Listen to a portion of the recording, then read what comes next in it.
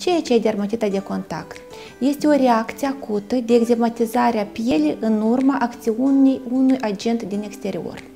Dermatitele de contact pot fi iritative și alergice. Acest lucru este foarte important de menționat deoarece ne dictează tratamentul și căile de uh, preîntâmpinare a apariției acestei dermatite de contact.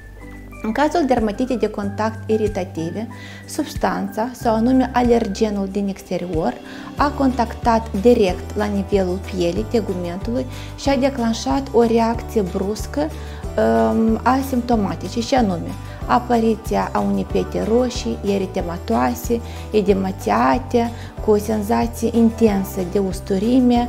Uh, pe uh, parcursul acestei plăci pot apărea multiple vizicule, plăci um, și în cazul în care tratamentul nu este prompt indicat, atunci dermatita de contact acută trece în cea cronică.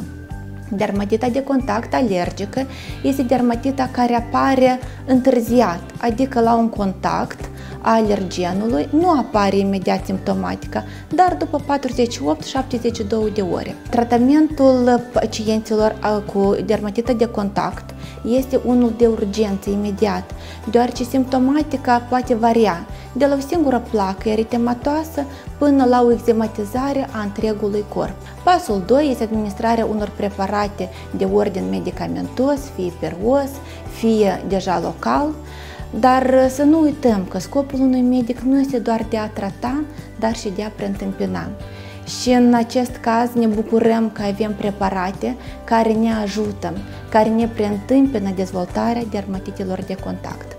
Aceste preparate în componența sa, pe lângă componentul emolient de glicerină, unde șeia, cu scop de a epiteliza, de a emolia, de a regenera pielea, au și o mulțime de substanțe dermomimetice, adică substanțe care maximal sunt apropiate cu celulele epidermice.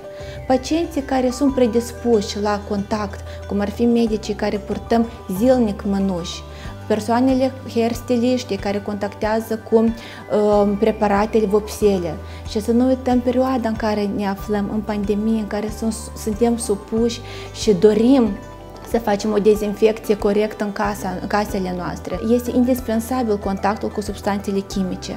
Atunci, de prim ajutor sunt aceste substanțe care ne refac pielea, care ne preîntâmpină apariția dermatitelor ca o a doua piele, la mânuțe ca o mânușă invizibilă, ce ne protejează pielea și ne asigură o sănătate frumoasă a ei.